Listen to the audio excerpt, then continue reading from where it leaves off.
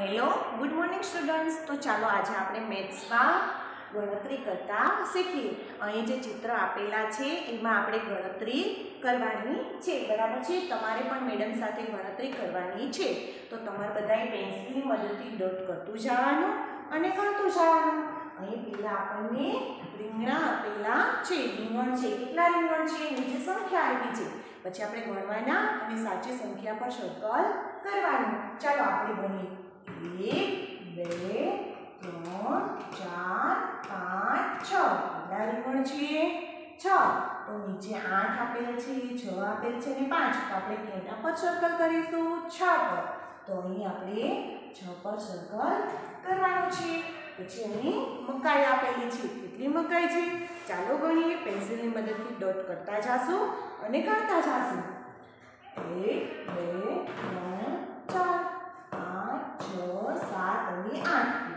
કેટલી છે? આઠ છે.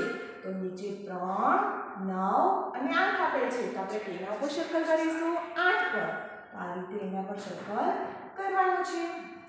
ત્યાર પછી ઓરેન્જ આપેલી છે. કેટલી ઓરેન્જ આપેલા છે? ચાલો ગણીએ એક બે ત્રણ ચાર પાંચ છ સાત આઠ નવ દસ અગિયાર બાર તેર ચૌદ ચૌદ કેમ થાય? એકડે ચોકડી ચૌદ. તો અહીં ત્રણ સંખ્યા આપેલી છે. એકડે ચોકડી ચૌદ, એકડે પાછળ પંદર, અને છેલ્લે એકડે મીંડે દસ. આપણે એકડે ચોકડી ચૌદ ઉપર સર્કલ કરવાનું, કેમ કે ઓરેન્જ ચૌદ છે. એટલા માટે. બરાબર? ત્યાર પછી દાડમ આપેલા છે. તો ચાલો આપણે ગણીએ એક, બે, ત્રણ, ચાર, પાંચ, છ, સાત, આઠ, નવ અગિયાર, બાર. કેટલા દાડમ છે? બાર. તો આપણે એકડે બગડે બાર દાડમ છે. અને જો એકડે તગડે તેર એકડે બગડે બાર અને એકડે ચગડે સોળ. તો કેના પર કરીશું? એકડે બગડે બાર પર ત્યાર પછી દ્રાક્ષની લૂમ આપેલી છે. કેટલી આપેલી છે ઘણી એક, બે, ત્રણ, ચાર, પાંચ, છ, સાત. કેટલી છે?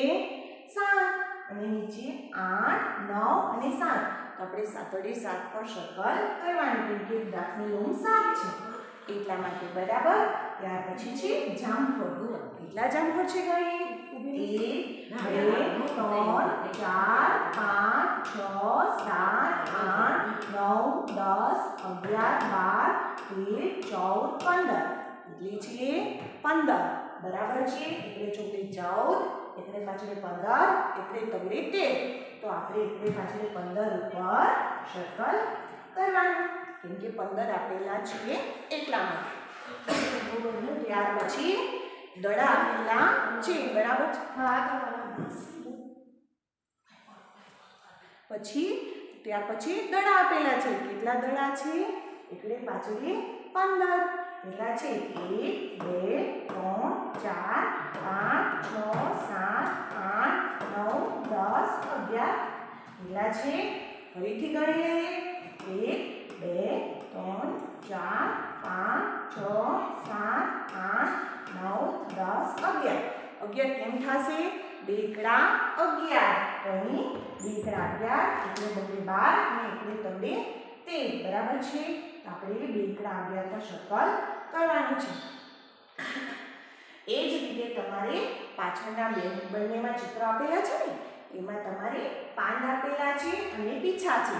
એ ગણીને તમારે સર્કલ જાતે કરવાના છે અને પછી આખા પેજનો ફોટો પાડીને મોકલવાનો છે. બરાબર? હવે પછી આપણે આગળના વિડીયોમાં મળીશું. બાય